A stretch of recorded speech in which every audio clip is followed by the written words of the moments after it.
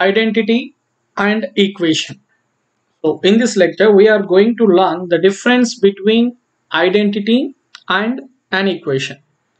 So here we have the definitions for identity and an equation. So an equation that is true for any value of variable is called as identity. Okay. Whereas an equation is only true for only few values of the variable. Okay. So this is the major difference. Then now we will understand with the examples. So the first thing identity. Identity is an equation which is true for any real value of the variable. For example, if I consider x square minus 1 equals to x plus 1 into x minus 1. Okay, x square minus 1 equals to x plus 1 into x minus 1. Now consider any value of, okay, any value of variable here, x, any value of x so whatever the x, x belongs to any real number, this statement is true. For example, if x is equals to 2, I am considering. If x is equals to 2, whether what is the LHS will become 2 square minus 1 equals to 2 plus 1 into 2 minus 1. That means here 4 minus 1 equals to 3 into 1. That means 3 equals to 3. So now this equation is true for x is equals to 2 similarly consider x is equals to 3 then what it is 3 square 9 minus 1 equals to 3 plus 1 4 into 3 minus 1 2 that means 8 equals to 8 so you can consider any value of x. Okay if we consider any real value of x the given equation LHS is equals to RHS is true for any real value of x then that equation is called as identity.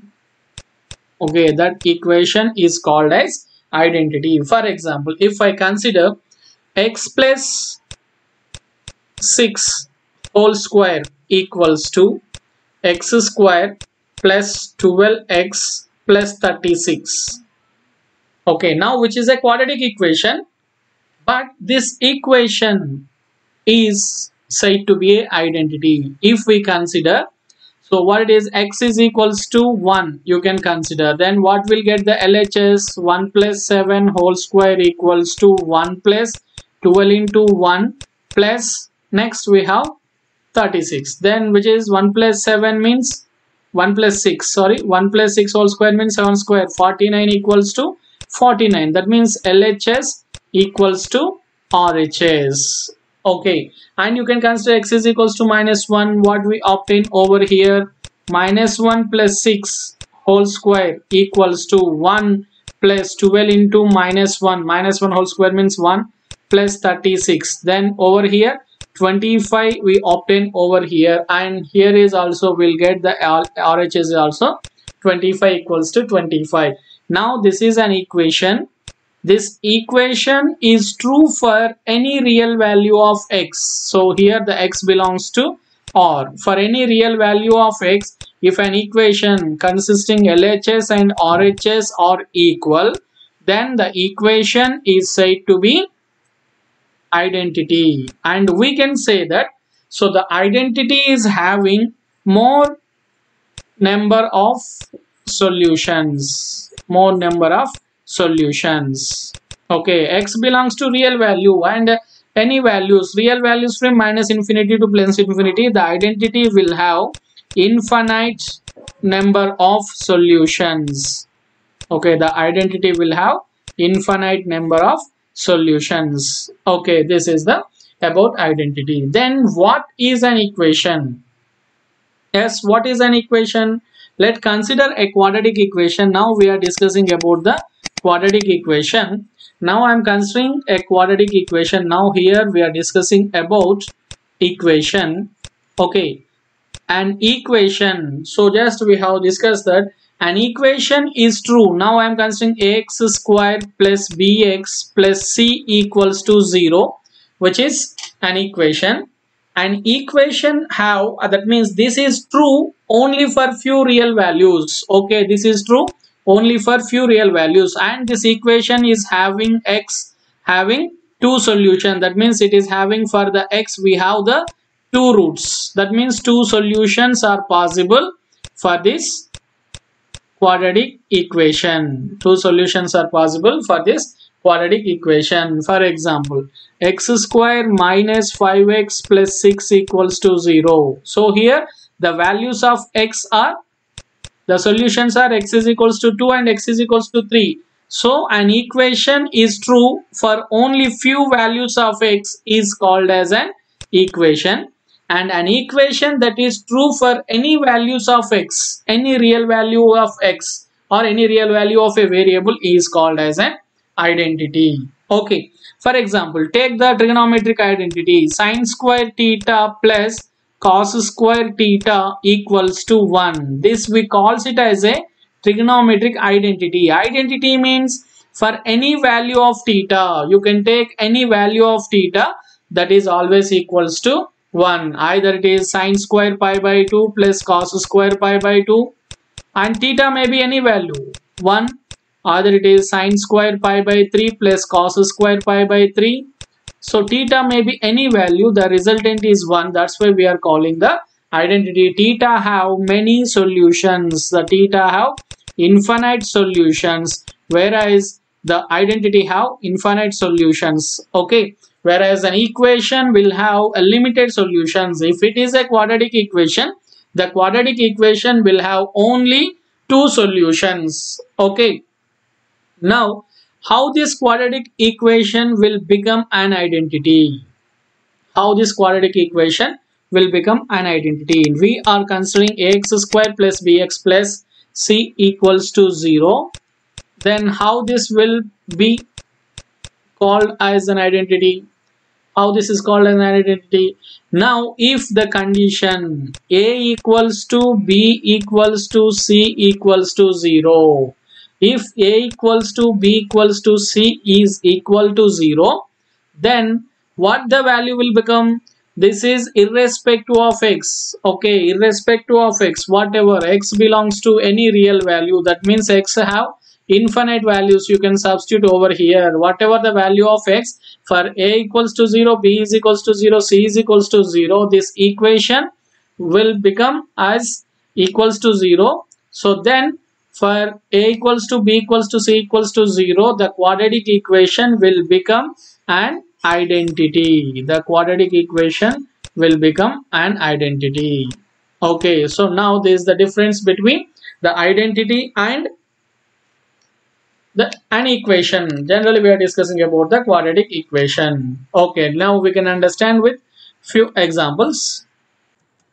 Now the question is find the values of k for which the equation k square minus 3k plus 2 times of x square minus k square minus 2k plus 1 times of x plus k minus k square equals to 0 has more than two roots okay more than two roots. We know that the given is a quadratic equation is in the form of ax square plus bx plus c equals to 0 okay which is in the form of ax square plus bx plus c equals to 0 the quadratic equation will have generally it have two solutions. That means the two roots. Okay it will have two roots but here the question is asking that which have more than two roots so when this will have more than two roots if the equation become an identity then it will have more than two roots. So that means here the equation has to be considered as identity. If the given quadratic equation is an identity, then the equation will have more than two roots. Okay, more than two roots. Will have more than two roots. Okay, so now when a quadratic equation is said to be an identity, the condition is the coefficient of x square equals to 0 coefficient of x is equals to 0 and the constant term equals to 0 so that means if a equals to b equals to c is equals to 0 then the x will have number of solutions. Okay. X will have x belongs to for any real value the given quadratic equation will become an identity. Now here what it is the x square coefficient means? Here the x square coefficient is considered as what he has given let moving over here. The x square coefficient is k square k square minus 3k plus 2 equals to 0 and uh, b b is nothing but k square minus 2k plus 1 equals to 0 and c k minus k square equals to 0 and if we find out this k square minus 2k minus k plus 2 equals to 0 for the first one. And if we simplify we can write this is as k into k minus, uh, 2 so k minus 1 into k minus 2 equals to 0 that means here we obtain k is equals to 1 or k is equals to 2 okay k is equals to 1 comma 2 and this can be written as k minus 1 whole square equals to 0 so that means here we obtain the values as k is equals to 1 comma 1 and here we can take k as a common then we can write it as 1 minus k equals to 0 here we can write k is equals to 0 comma 1 okay the question is asking us find the values of k for which okay so that means here we are having different values of k but we need to take the common value. What is the common value? 1 is common in all these coefficients okay coefficient of x square equals to 0 coefficient of x is equals to 0 the coefficient of x was 0 that means constant term equals to 0 then in each and every term we are getting the k value as 1 the common k value is 1 then for k is equals to 1 this equation will have this quadratic equation will have more than two roots for any real value of x. If we substitute k is equals to 1 whatever the value of x x may have the infinite values. X belongs to from minus infinity to minus plus infinity or any real value we will get for k is equals to 1 this equation will get as more than two roots. I think you understand the difference between the equation a quadratic equation and an identity.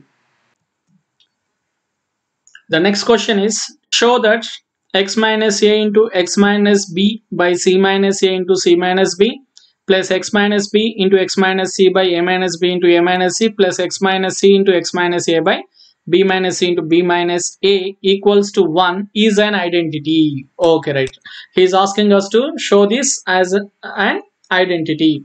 So what is the condition for identity? Okay the identity means x will have infinite solutions infinite values or more than the given polynomial. Okay so that means here the given that x minus a into x minus b can be written as x square minus of a plus b into x plus ab okay. So that means the given is okay here also we'll obtain it is in the second term x square minus of b plus c into x plus bc in the third term, the numerator is x square minus of c plus a into x plus ac. So that means here the given is, okay, by adding all this. So whatever it is, simply we can say that the given equation is a quadratic equation. The given equation is a quadratic equation. So that means the given equation must have only two roots okay the given equation must have only two roots if this equation the x is having more than okay the x will have only two roots over here. Why? Because it is a quadratic equation. So if x is having more than two roots then we can say that the given equation is an identity. Okay given equation is an identity.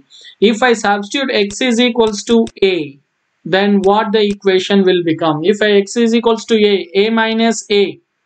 So the first term is simply 0 plus and x is equals to a what? We obtain a minus b into a minus c by a minus b into a minus c. Plus third term is x is equals to a. x minus a we have over here.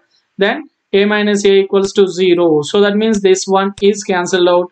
The resultant equals to 0 plus 1 plus 0 which is equals to 1 so that means the LHS is equals to if x is equals to a the resultant equals to 1 we are obtaining. That means x is equals to a is satisfying the value of x is equals to a satisfying the given equation. Now similarly substitute x is equals to b. If x is equals to b the first term will be 0 plus second term will be 0 plus third term. What it is? B minus c into b minus a by b minus c into b minus a which is equals to 0 plus 0 plus 1 again the x is equals to b is also satisfying the the two values are satisfying the given equation. Then x is equals to c. What will obtain if x is equals to c? C minus a into c minus b by c minus a into c minus b plus. So x is equals to c then c minus c 0 plus x is equals to 0 1 plus 0 plus 0 which is equals to 1 again it is satisfying. That means generally it is a quadratic equation. It has only two roots but here we are getting x is equals to a comma b comma c. The three values are satisfying the given quadratic equation so we can say that which is having more than two roots. The quadratic equation has two roots but is having the more than two roots. Then the given equation is an identity. Okay, given equation is an identity. I think you understand the difference between the identity and a and an equation. In the next lecture, we come with another concept.